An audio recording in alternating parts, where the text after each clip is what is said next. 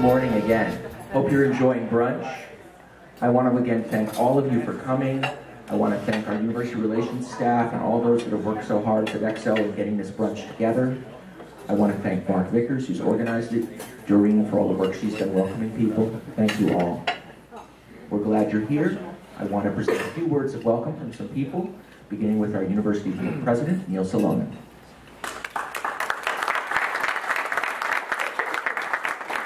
Thank you, and I would just underscore the same thing. We're very proud of the history of the university, and we're excited about the future. So we're hoping in the time that you're here, you'll get a chance to sense that we're trying to build on everything that's been great about the city and the university. Some of it's appearing already, some of it could use a little nudge. So any suggestions you have uh, would be glad to hear. We're especially privileged to honor our, our guest of uh, our guest of honor today, and in order to recognize that, uh, the city of Bridgeport, who has been a very close partner with the university in terms of working on a lot of redevelopment activity, uh, represented by the president of the city council, uh, would like to uh, stand up and offer a proclamation to, um, to him. Thank you. Good morning, everybody. I'm Tom McCarthy, I'm the council president, and as the council president, one of my roles, and one of my favorite roles actually, is uh, I get to be fake mayor sometimes. Uh, so when the mayor's out of town, I become the mayor for, for a short period of time, and so uh, the mayor's out of town, and he personally called me to ask me to, um, to come for this event because you know, he's a UB alum, but also, you know, UB means an awful lot to the mayor, to the council, but also to the city of Bridgeport. I, I, say often, I'm not sure where the south end of the city of Bridgeport would be without the sustaining impact of this great university. So I want to say thank you to, uh, to Neil for, and for everyone here for all your efforts in maintaining this great organization down here uh, at the south end. I also love this exact room because um, this is where years ago, and I don't know why we don't do it, I, I, I was talking to Jeff and said we should probably do this again the, council used to do our budget meetings on occasion in this room. And we would do it because our budget meetings we do in a, uh, in a windowless room for day after day after day, week after week. And every once in a while you have to take a step out and look at the most beautiful view in the city of Bridgeport to kind of remind yourself of why we do what we do. Um, there is no more beautiful place, uh, in my mind, than the city of Bridgeport. Um, take a look out these windows and understand that what a great, great community this is. Um, and I'm excited to be here to recognize uh, one of one of the um, the great legacy makers here at the University of Bridgeport. Um, Professor uh, Neil Slater, as, as, we all know, um, has been one of the, the, the, shining lights to make sure that people understand what that true American art form of jazz means to our country, to our culture, and a lot of that started right here. He started a lot of what the great music group is here in, and study is here in the University of Bridgeport, right here in Bridgeport, and we couldn't be any prouder of that, of you being, you being a spark to light a fire uh, of this American art form here in Bridgeport, going to Texas and continuing that on, and then coming back to take a victory lap, kind of, which I think is fantastic. And I have a proclamation from the mayor of the city of Bridgeport. Whereas Neil Slater devoted eight decades of his life to the study, performance, and teaching of the music genre that is jazz, Grammy-nominated composer, arranger, and educator. And whereas Neil Slater is still going strong, his latest endeavor includes playing keyboard in a group called the Jazzmeisters, which features live performances at a place called Barley and Board, an upscale brew pub restaurant in historic downtown square in Denton, Texas. And whereas Dr. Slater received his Bachelor of Science from Mansfield State College in 1952 and his Master of Arts from Duquesne University in 1954. He later went on to postgraduate studies at Columbia University for a time. Whereas he performed extensively and taught music in New York City area public schools. In New York, he also composed and played jingles for television and performed with many of New York's renowned musicians. He was employed by Warner Brothers and MCA Music as a composer, arranger, and consultant. And whereas at the University of Bridgeport, Slater founded master's and bachelor's degree programs in jazz studies in the early 1970s. This was one of the first such programs in the nation. At that time, he also recruited adjunct faculty who were internationally renowned performers, including Clark Terry, Sal Salvador, and Bill Finegan, who played with the likes of Glenn Miller, Tommy Dorsey, and Stan Kenton. The program Slater built at UB launched many substantial careers in jazz performance. Notable alumni include guitarist Tony Purrone uh-huh. and drummers Dave Weckl and Todd Strait. And whereas in 1981, Slater relocated to the University of North Texas, which was perhaps the premier jazz program in the country. Under Slater's direction, UNT developed a Master of Music Jazz Studies degree. U.S. News and World Report, report called this program the number one in the nation. And whereas perhaps one of Slater's greatest achievements his treatments was his work with the internationally acclaimed One O'Clock Lab Band at the University of North Texas. During his 27 years there, he served as director of the band and chair of the Jazz Studies Division from 1981 through his retirement in 2008.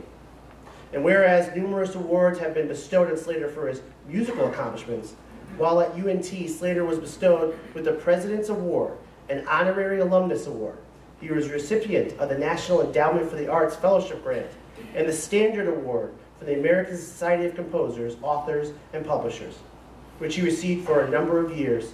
He also received a congressional citation for an, an outstanding career. Now therefore I, Joseph P. Ganim, Mayor of the City of Bridgeport, Connecticut, with all its citizens and visitors, do hereby proclaim October 16th 2016 as Professor Neil Slater Day in the great city of Bridgeport. Congratulations.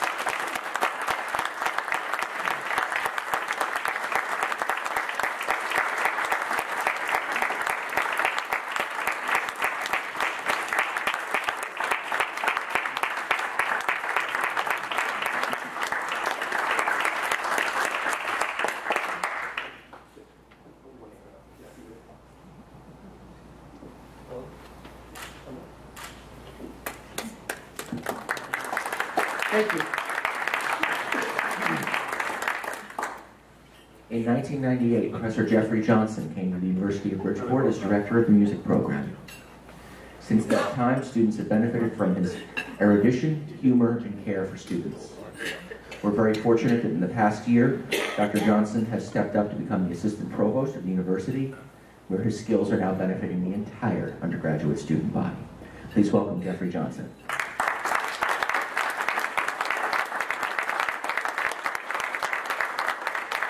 I'm honored and thrilled to have the chance to welcome all of you. I have to be careful because you know professors need to talk for one hour. And um, so I have to be careful I don't get fully on track. You know how that is.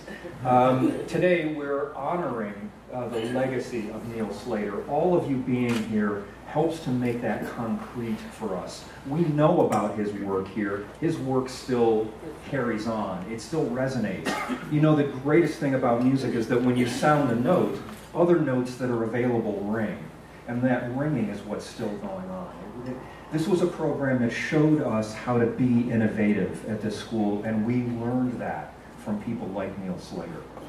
Uh, now, all programs across the country have figured out how to integrate jazz into a traditional Bachelor of Music program. University of Bridgeport was ahead of that. We helped pioneer that. We helped figure it all out. And we're still figuring how to make innovative things work for our current student population. They are every bit as unique as you were when you were their age. You remember what you were like, right? I mean, you wouldn't have fit into the traditional machine. You wouldn't have. And you fit in here because we at the University of Bridgeport gave you a chance to open out the potential that you had. And we're still doing that for the students that are here today. Um, as someone who has cared so deeply about teaching, I can say that there is nothing that warms us the way it does when you look around and see people like yourselves who benefited and honored that teaching and are still putting it into practice today. There's no deeper honor than that. And that's the honor that you represent here today to Neil Slater. I just wanted to remark on, on how beautiful you look. It's amazing, right? It's true, right? Isn't that true? Thanks for coming.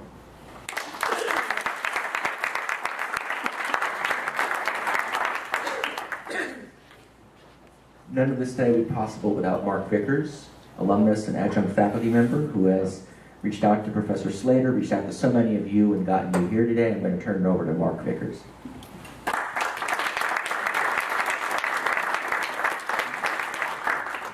Okay, good morning. I'd like to say, uh,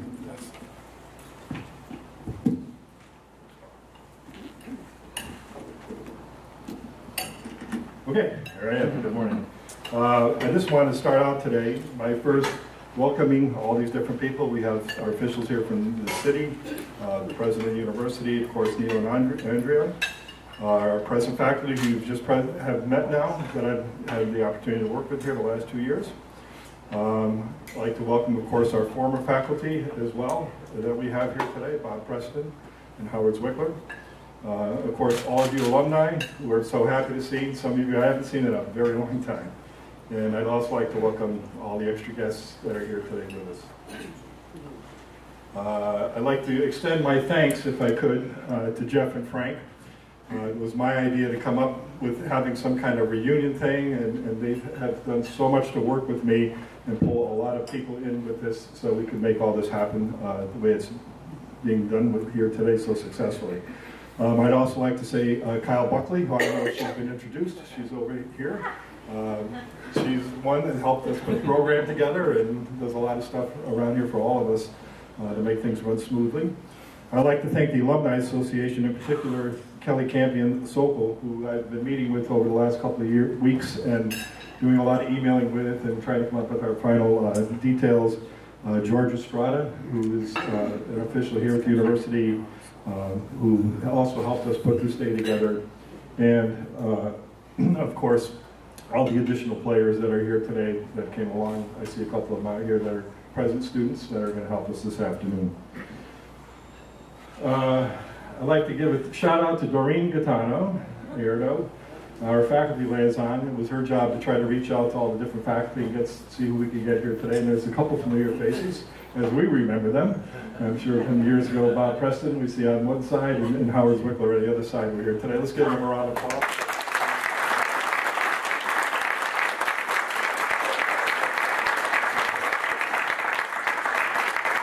It kind of struck me. I thought about Linda. Which picture should she be in there? but anyway, uh, and I'd just like to take a moment, not only these two faculty, but of course we should remember all the great faculty that we had besides the three presently here in the room today.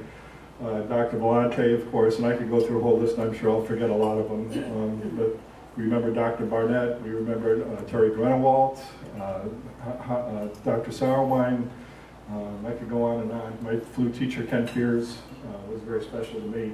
And a lot of these faculty were so good at connecting with us and really making us feel like a big family here. And that's one thing I always said. And it's just um, such a nice thing that when we were here, no matter if you were a jazz guy, if you were a, if you were a vocalist and you were singing with Bob Regan, another name I should mention, um, you know, we all were kind of, it was a very cohesive department and uh, great, it's such a pleasure to be here.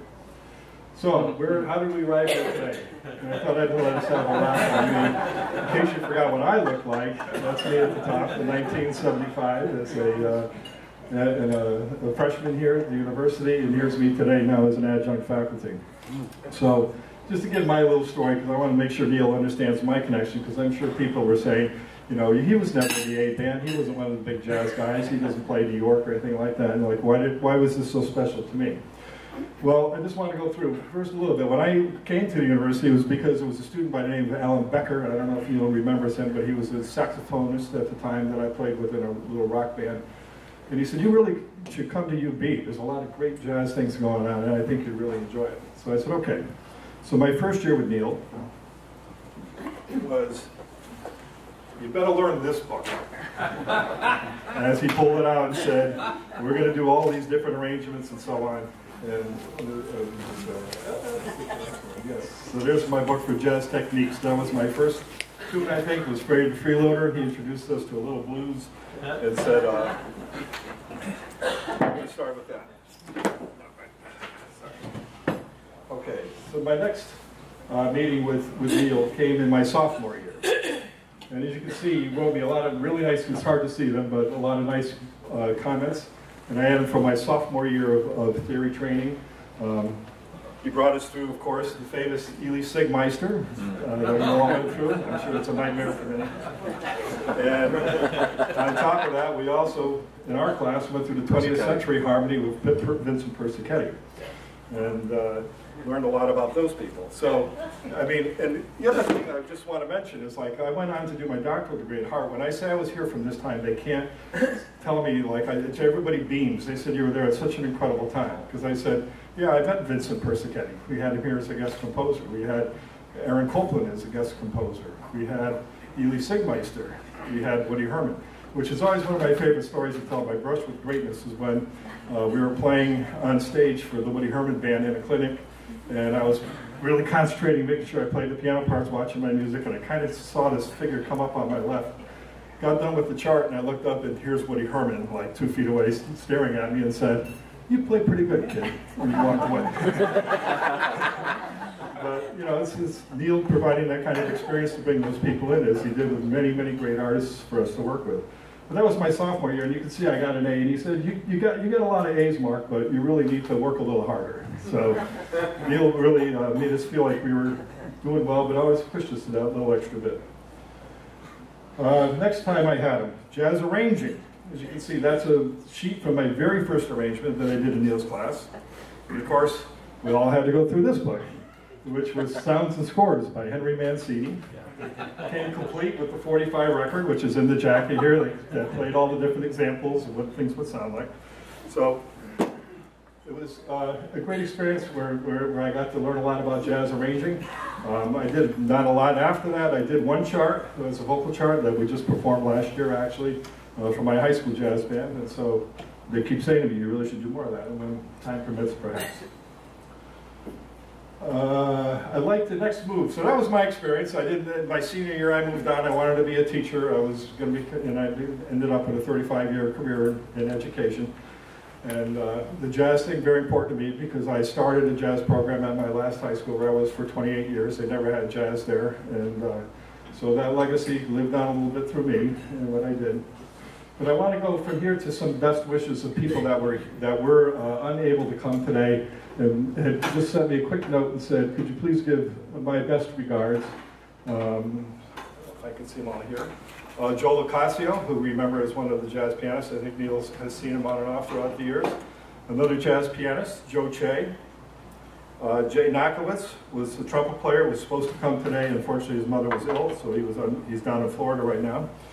Uh, Joan Littner, we all remember cellist. Uh, who was unable to make it today, wanted to send her best wishes.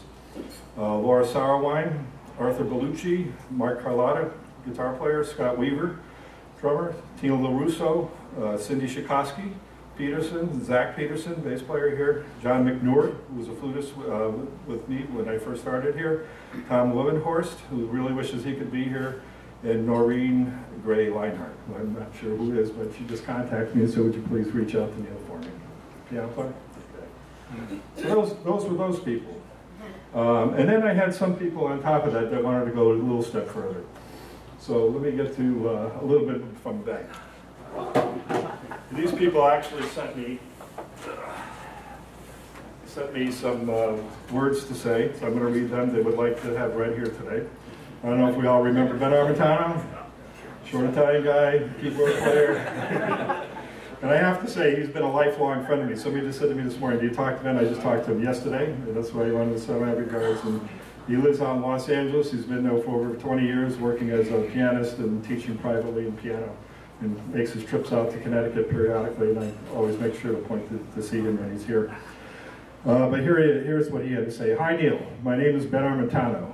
I doubt you remember me, but I was one of your arranging students, and I played piano in the B Jazz Band. Congratulations on being honored this weekend at UB. You completely deserve it. I learned so much from you. One thing I still remember to this day was one time when I had written an arrangement of Stevie Wonder's For Once in My Life. You had the band play it at a rehearsal. As I was listening to it being played back, I heard a couple of wrong notes being played.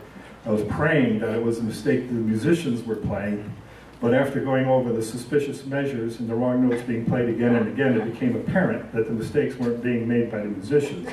The wrong notes were the result of what I had written. and you took me to task in front of the whole band, telling everyone that time is money in the recording studio, and if a session has to be stopped because of the arranger's written mistakes, then you won't be a professional arranger for long.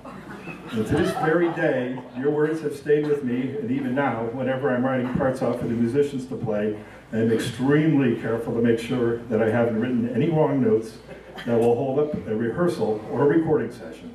So thank you very much for everything you have taught me about arranging and piano playing, and enjoy this weekend in your honor. Welcome home.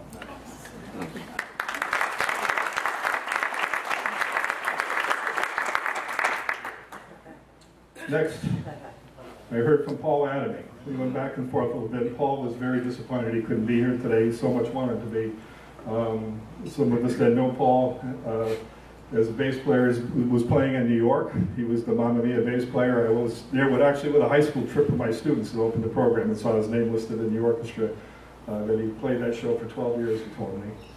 Uh, after it closed, he did play another show, and presently he said he's in Sweden doing some performing over there at this time, so he was unable to make it. So he sent a word to me that just said, uh, Congratulations, Neil, on a well deserved day of recognition. I'm sorry I can't be with you today, but I want you to know that you made my time at UB very special. Today's reunion tribute honors the hard work and dedication you gave to create the great jazz program at UB. I'm so glad I was there to experience, experience it. I love you, man. So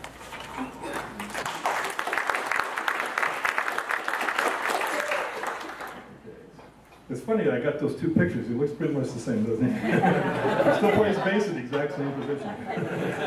Only the hair has changed. All right, the next guy that I heard from was unable to make it today was Chris Coulter. So there's a young Chris back in his days at UB, and here's Chris today playing saxophone. Um, Chris has had a, a, a note here that says, Hi to all and a special hi to Neil. I'm sorry I couldn't be with you folks today. Special thanks to Dr. Mark Vickers for setting up such a wonderful event and for working hard to breathe some life back into the hallowed halls, as they say. You know, it doesn't seem like that long ago, yet it seems like a real long time ago, especially when I hear recordings of things that I know I could have played better. In other words, if I knew then what I know now, haha, and of course, when I see pictures, yikes. The thing I remember the most, and vividly to this day, is the spirit and camaraderie of the band, and how much most of, all of us wanted to play as good as we possibly could for Neil and for each other. Neil had extraordinarily high expectations and had a way of making you, or may I say demanding, that you play beyond your capabilities. I remember that most all of us wanted to live up to those high expectations. For me, there was nothing better than to finish a solo and have Neil look over at you and say, yeah, man. Playing in that band with all those young, terrific musicians, many of whom, as we know, went on to become wonderful professional musicians as well as music teachers in their own right, was one of the greatest experiences I've ever had. And it certainly was due in large part to the teaching and coaching of Neil Slater. Thank you, Neil, for providing the opportunity and thrills to having played and soloed on stage with immortal jazz artists like Clark Terry, Gerry Mulligan, Bob Brookmeyer, Slide Hampton, and more. I, it all instilled in me a tremendous lifetime love and respect for the history of the music, what it took and what it takes to play it all and play it well. I keep working at it in my teaching and in my playing. But you know something? I never ever played giant steps that fast again after we recorded it, and probably never will. Uh, my very best and hugs to all. Chris.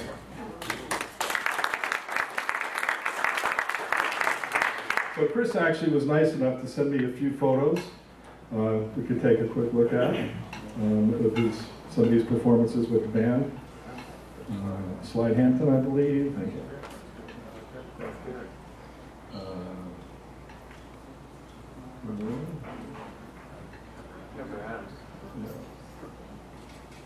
I like the two guys up front in the middle. By the way, John Mastriani will be here later. His son had a baseball game, so he said, hold on, I'm, I'm coming.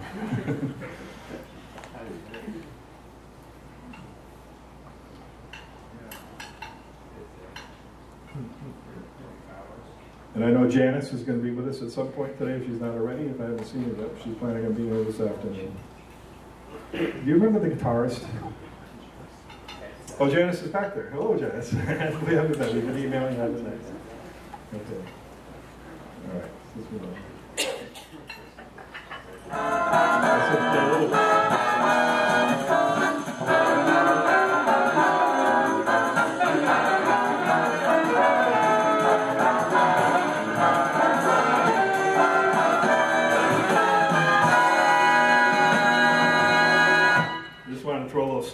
There. That's off of the 80 Tour album. And just shows you how fast that went. You're an old child, really flies. And Chris, I said, which solos to use? Because there was two tenor solos listed. He goes, well, I'm the first one, but please don't play it. He says, I go back and I hear that recording. I don't like my articulations. Don't. He's got it. So it's captured. And I said, well, that's the way it is. But I honored his request. All right, the next guy I like, we heard from, I heard from, and been going back and forth with quite a bit, is Joe Curiel. And so a lot of us remember Joe, the trumpet player on the left, and this is Joe today. A recent, actually recent photo that I just saw on his Facebook. Um, he really regrets not being here and wanted to say hi in a big way. Um, but he just recently completed his doctoral degree. Uh, he's been doing a lot of composing and performing with his music. Uh, I saw some clips that he was doing in Czechoslovakia. And he's somewhere in Asia right now, he said, so he wouldn't be here. Um, but gave me actually a little bit lengthy, but I think you'll enjoy it, uh, letter to read. So you wrote, Professor Slater, fellow classmates and alumni. I wish I could be with all of you to pay my respect and tribute to Professor Neil Slater. It is certainly due and well deserved. To be very honest, academically speaking, studying with Neil and being around him and learning from him made my four years of university completely worth the time and effort. He was a rare educator, and his approach was exactly what I needed at a very critical crossroad in my life, in the beginning stages of my professional development. There is a Chinese saying, when the student is ready, the teacher appears. He did, and I'm grateful. I can draw many metaphors from Eastern philosophy, which aptly, uh, which apply perfectly to Professor Slater. In my experience, Neil said few words, but what he did say had meaning and power for me. While reading the book, The Dancing Wu Li Masters, I had an epiphany about my student-teacher relationship with Professor Slater. The author stated, a master teaches essence. When the essence is perceived, he teaches what is necessary to expand the perception. In this way, the Wu Li master dances with his student. The Wu Li master does not teach, but the student learns. This was exactly my experience with Professor Slater, and it was inadvertently confirmed by him when he wrote and told me after more than 25 years of having had no contact, I didn't teach you anything. And my reply was, but I learned a lot from you. I think we can all say that. Um, the Chinese spiritual teacher and philosopher, Lao Tzu, writer of the ancient spiritual and philosophical text, the Tao Te Ching, said, govern a nation like you would cook a small fish.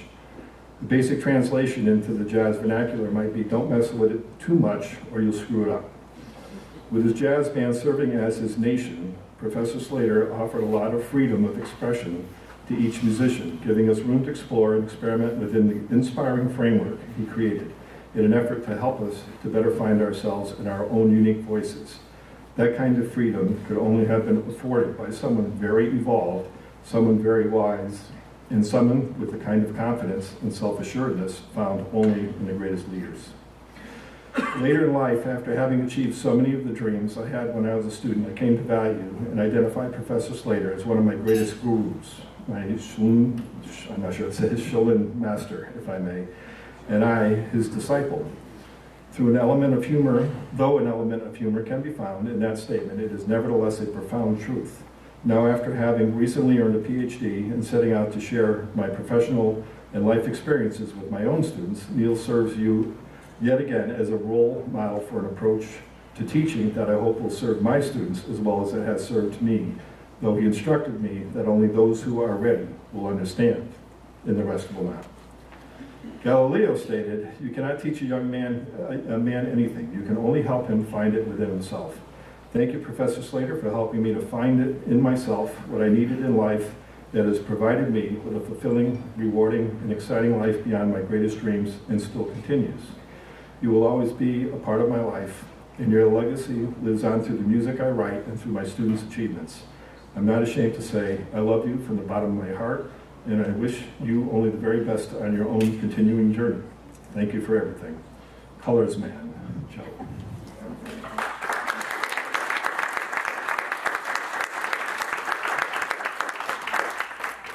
I have to tell you a quick story about Joe too. He was such a great guy. I was taking my brass classes with Bob Myers, uh, another great teacher we had, and uh, I, I, was really struggling with the trumpet.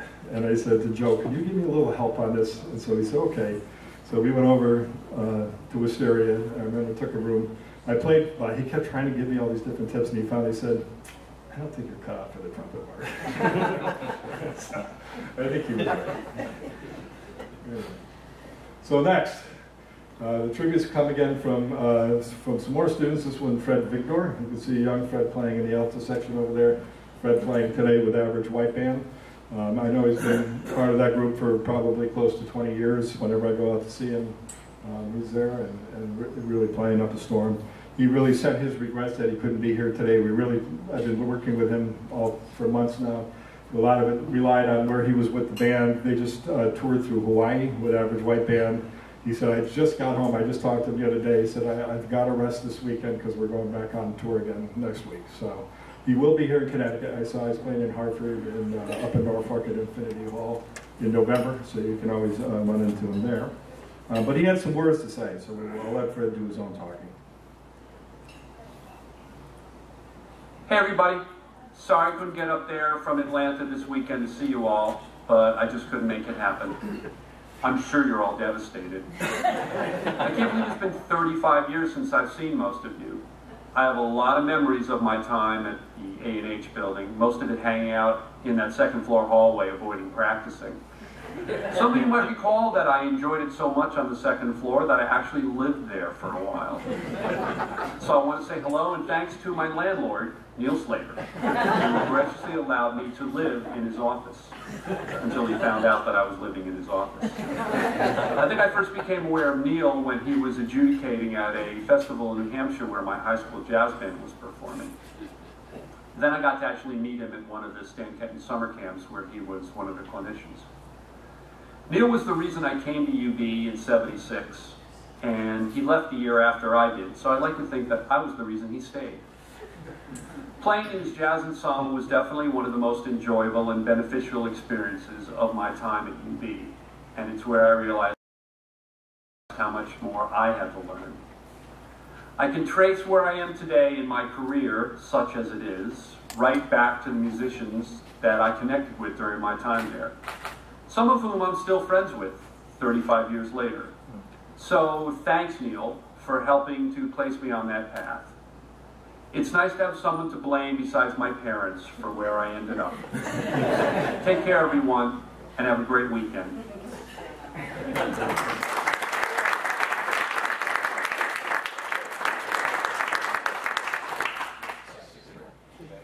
Uh, one of our other star musicians that came from the program that obviously went on to international success, uh, Dave Weckl.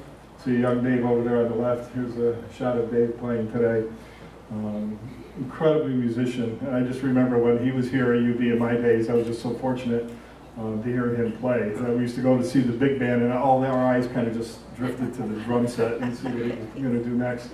I used to really have fun with him because he used to play mallets, and I'd play some jazz piano at the bottom of the keyboard. He'd come up with two fingers like this and be playing and improvising to me because he wasn't really a pianist, but great musician. You know his, his story, discovered by Paul Simon, went on the road now with Chick Corea, and really, really wanted to come. I've talked to him several times now. Um, but he's been playing with the Electric Band. He did that starting in the 1980s with Chick Corea. Um, Chick just announced his 75th birthday tour, and uh, kicked it off with the electric band. So actually Dave played last night in uh, South Carolina and is on a bus on his way up to Boston where he's playing tonight. And I wanted to make sure that I let everybody know that he'll be in Manhattan playing at the Blue Note with Chick uh, this, this coming week. He start, opens on Wednesday and he's there through Sunday. So he said, please do come by. I'm going to show his video and I asked him to give a little shout out. He said, sure. He says, but please don't let this go anywhere else outside that room. Um, he's really tired. He says, I look like hell. and he says he's been doing a lot of traveling and stuff. He says, but I really, Neil means so much to me, I'd like to say a few words. So here, here's Dave. Hey everybody, Dave Weckl here. How you doing? I hope everybody's doing great. I'm sure you are. Today is a special day, and um, just wanted to record a short video to say how sorry I am I can't be there in person, but I'm certainly there in spirit. And um, I think as you're watching this, I'm probably asleep on a bus somewhere between South Carolina and Boston. Uh, with Chick and the guys, we're uh, we're on tour with the Electric Band reunion. A little bit, a little bit of fun with the guys again, and um, you know, like I said, I only wish I could be there. If I if I could have, I would have been. And um, just wanted to especially give a special shout out and hello to Neil Slater and uh, a big thank you for everything you did for me personally and for all of us there at Bridgeport back in the day with the big band and the program. It was just, for me, the beginning of everything, the beginning of my serious study, my practicing, and, and my career, really. And, uh, you know, I miss, I miss hanging with you and playing with you, and, and uh, we had some great times in, in the school and on the gigs we did, and it was just uh, really an incredible time for me. So you were a big part of all of it, all of my beginning, and um, you know, just again, thank you very much. And uh, hopefully we catch up on FaceTime or Skype or something like that soon. All right, everybody have a great time there. Once again, sorry I can't be there personally, but um, again, there in spirit. All right? Come see us if you can. We're in New York next week, 19 through 23 at the Blue Note with the Electric Band. And um, if not, we'll see you somewhere down the road. All right. Have a good one. Ciao. Bye.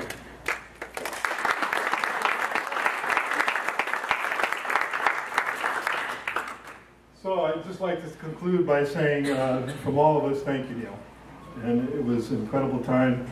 And I know, like I said, I was one of the big jazz guys as far as playing with, a lot of the big bands. But as a professor now that I'm back, I mean, your energy is still here. I, I, I went through the library looking for, for music for the band, and that's when I actually stumbled on all the jazz charts and said, my God, we've got to do something. Uh, and it's just, uh, so here we are. And I'm so glad everybody came. And uh, that brings me to our last mention, which is we're going to leave here at, at 1 o'clock to go downstairs. Um, anyone's with a horn, come on down and join us. We're going to be reading some big band charts, uh, including some of Neil's arrangements. Down in Littlefield, now called Littlefield, the recital hall on the first floor. We'll be there from 1 to 4. Why? Well, why not? It's just going to be fun. So thank you very much for coming.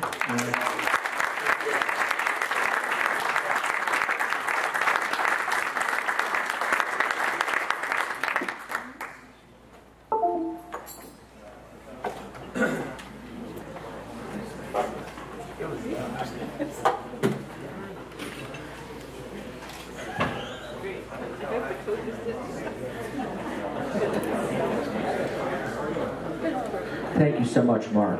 Before we conclude our program up here, I just wanted to say a few words about the program today. As Jeffrey said, all of you are here today because you were touched by a wonderful teacher. All of you are here today because you formed a community that has remained tight for so many, so many years. Our students today are no different. The creativity, the desire to innovate, the eclecticism of your musicianship is just like our students today. And we want to keep fostering that. As a program today, we are small enough to give individual attention, large enough to take advantage of the wonderful facilities that are here. I hope you'll walk around as you're here today. We've opened up everything. Walk around, see your old haunts, see the ongoing renewal of this building. We've made so much progress in bringing it back to what it was and taking it forward to the 21st century and know that we are working with our students. We have about 35 undergraduate music majors right now and about 30 graduate students in music education, and we are serving them well, bringing them forward. We ask ourselves questions, as Neil Slater did when he was hired to start a jazz program here. Why do Moline music departments make you choose jazz or classical music? Why do they train people in only one genre when we all know that people who get work are trained in two or three or four genres? Why are certain musics taught in college and why are certain musics not taught. So we hope to honor Professor Slater's legacy of innovation. The students that are here are so much like you. Uh, you'll meet a couple of them later today in the jam session, I hope. And you had wonderful opportunities here. Thanks to each other, thanks to wonderful teachers, thanks to generous people that made the opportunities possible.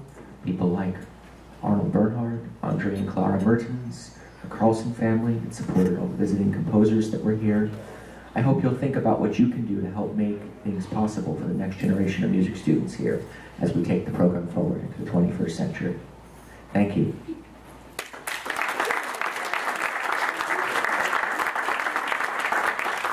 At this time, I'd like to invite uh, Professor Johnson, Dr. Vickers, President Salonen and Professor Slater.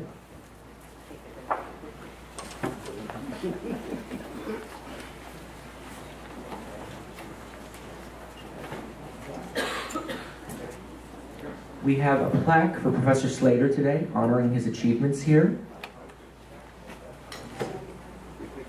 Yeah.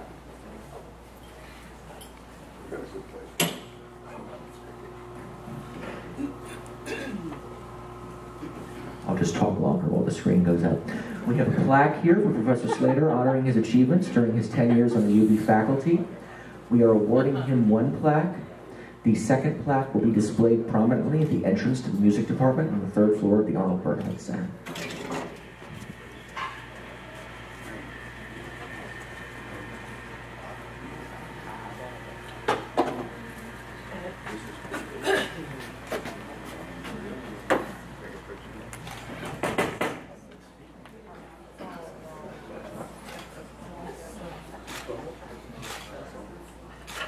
How about getting the city council president? How about getting Andrea?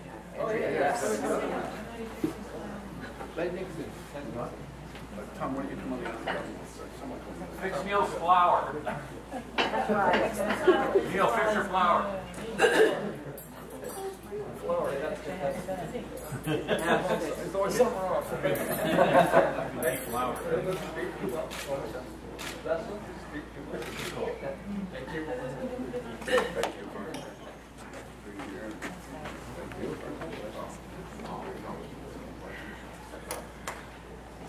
thing he noticed was that um, he spells Neil correctly.